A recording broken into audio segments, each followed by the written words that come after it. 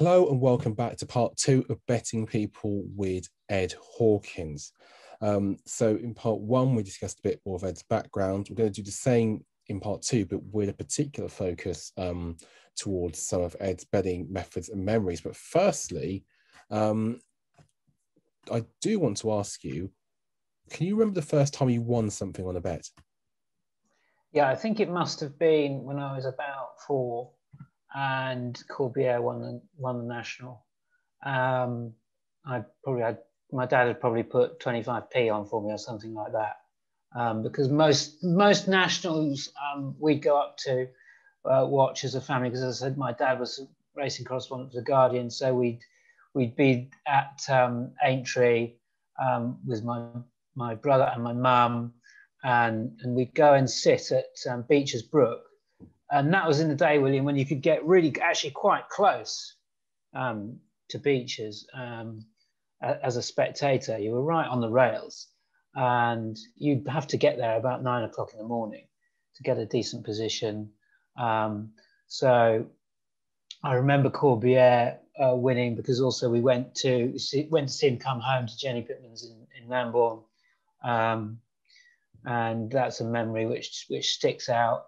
Um, so that must have been one of the first first bets I ever had, and obviously we always have a bet on the national.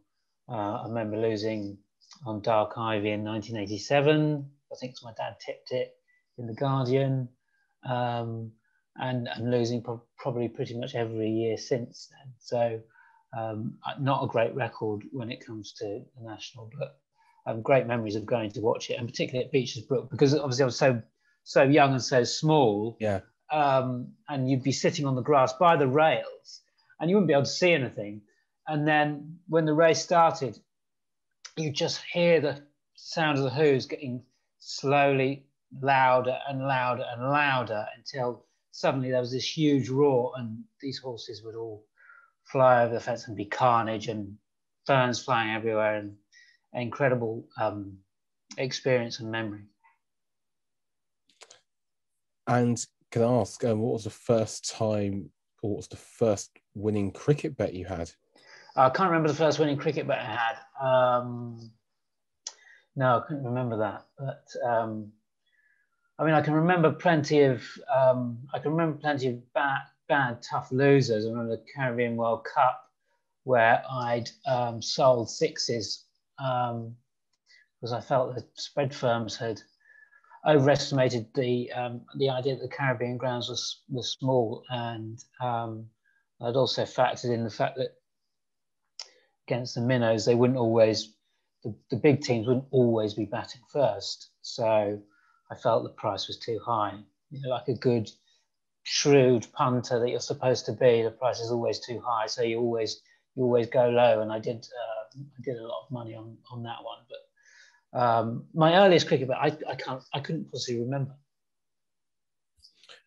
Um, and you're known as a cricket expert now. I think it's fair to say that's how most people would know um, you here. But when did you?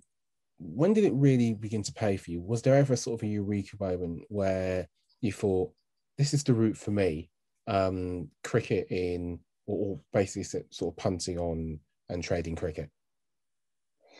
I think um, early on when I was at the post, um, and I was there, I think from about 2000, 2001, I think I started there. Um, I realized that I had a, I suppose I had an eye for a player.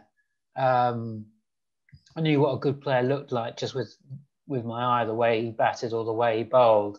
And and I was able to um, make money off the back of that on sort of top bat markets or top bowler markets, and also just lining up 11 versus 11 and and seeing which players were, were which teams were being overrated or underrated, um, and also very early on learning that um, bookmakers would shorten up teams artificially because they just had players who people had heard of. And and that I think is still the case now. Um, so those are the kind of first inklings that um, I felt I could do something with it, and so throughout those racing post years, I was I was basically a I suppose I was most of the time was an eye punter. I was backing on uh, teams or players who I'd seen um, a lot of and felt they were being underrated. Um, and then lastly, I moved into stats. Um, the, the, statistical side of things has been quite difficult in cricket, and I'm sure we'll come on to this in, in more detail later. That you know, in 2000, 2001, the ability to be able to go and look up um, all manner of weird and wonderful statistics just wasn't there. So you didn't really have much option but to be an eye player. I mean, obviously you'd be able to find out toss bias and things like that, and, and historic scorecards, so you could work out likely first innings runs. But um, today you can you can really do a deep dive on on the data and come up with lots of uh, ways to to make cricket pay. I think, and that's probably one of the main changes I've um, seen in my sort of betting strategy. Um, I'm not an eye punter anymore. I'm not really backing people um, because of what I've seen them do. Um, it has to be statistics based now. Would you say um, that there was a sort of point, a sort of crossover period where you suddenly saw access to this data, which you believe gave you that sort of edge, or was it a sort of a more gradual process where you know one season um, you know, you were going racing on mostly on eye stuff, and the next season suddenly say you had Cricinfo, um, or you had you know deeper databases that you could go and look at, for instance, strike, yeah. um, top bat, top wicket, or something like that. Yeah, um, I think the big change for me was social media hmm. because mm. I, I just didn't feel comfortable with saying this guy is going to be top bat um, off the basis of you know what I'd seen him do mm. um, because I, I, always felt there was some there was somebody out there who could come up with a you know statistics which would blow that opinion completely out of the water and make you look a fool. Um, so that's one of the, that's the main reason why I felt well I've got to try and be not bomb proof on it, but I've got to really know um, this guy's record. How often um, he top scores. What is his average, not include, including not outs? You know, what does he do on a, a, certain ground? And I used to do top bats or top bowlers on um, on eye, as I said, and then and then I moved to um, what I what, what, I called in my sort of weird um, loser way, like the Holy Trinity. Does mm. he hmm. have ground form? Is he in form? and does he have ground? Does he have form against the opposition? I felt if those three things were on for a player, then that would be my edge on, on a top bat or top bowler. Um, and uh, you know, it's still it, it, it was profitable, but that social media um, shift where you had experts coming up under um, crawling out of rocks underneath rocks and being able to access all this incredible data to prove you wrong um, made me change my approach. And I think you've seen that, really seen that in football with things like expected goals and the wealth of data that is available on football now. Um, and you can't just, you can't have a lazy opinion on football anymore mm. um, because you'll be torn to shreds on Twitter or on other, or on other social media platforms. Others are available. So, you know, I felt like I had to really try to get on top of that um, for cricket and be better with my data and understand more. Um, just because I didn't want to be letting people down, I wanted to be be a, really on on top of it and across it. And I'm not saying, by the way, you know, you know, I'm some sort of data god. Far from it. There are people out there who are doing amazing things like Dan Weston um, on Twitter. Give him a follow if you want to um, know a bit more about how to build a a T20 team. Um, you know, the data that these people have got, or there's CricViz and there's Crick, CricViz analysis, um, which is an amazing resource as well. Um, StatsGuru has always been great. And there are other sites that you can find, mm. particularly on T20, which will really help you out to, to, to get you that edge. Um, uh, and there is an edge, I think, because I think I think bookies are a little bit slow to catch up. I think um, you know in the future we're going to see be seeing people actually run statistical models. If they're not doing it already, I'm sure they are. I've seen a couple of people doing it on what is going to happen mm. um, on on matches and such um, be, Yeah, I mean, uh, CricViz do um, expected first innings runs in tests and um, in T20, and that was something I was quite keen to look at uh, on the podcast, the Cricket Only Better podcast for betting.betfair, because there is a little bit of noise with cricket punters that it's it's it's just not reliable at all. Um, so I wouldn't be I wouldn't be saying just go away and bet what CricViz are saying. Mm. Um, we've got to actually work out what they're saying is is accurate. But they have great data on things like how a batsman scores um, against a particular bowler um, which is a godsend for a top batsman wager. And it goes back to my earlier point. If I see Glenn Maxwell and I think, oh, this guy's a player, I think he's due for a top top bat effort, and I'm going to bet him to top scorer in a, in a 2020 match in the Big Bash. Um, someone could turn up some data from CricViz and say, well, actually, Glenn Maxwell has got mm. a terrible record against these three bowlers in in this match you've tipped him. Why have you tipped him? and then then what do you do? You're the expert here because because that had, that's confounded me a bit. I was also thinking about another question I wanted to ask you, but go on.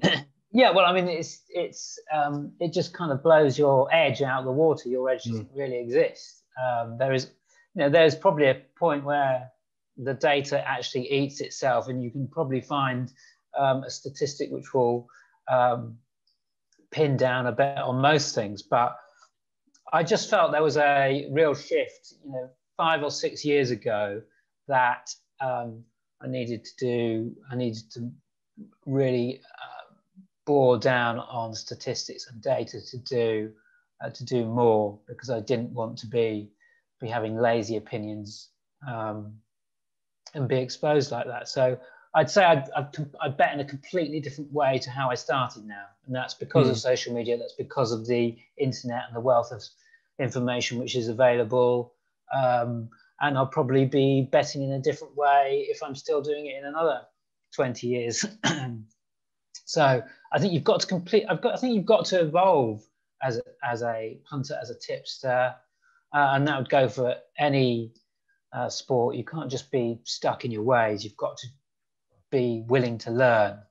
Um, and I'm always learning. I, I wouldn't say that, oh, I've got this thing nailed, What, or uh, you know, I, I know the game at the back of my hand because I don't, because you've got to keep uh, pushing yourself and, and questioning things if you're going to keep doing well.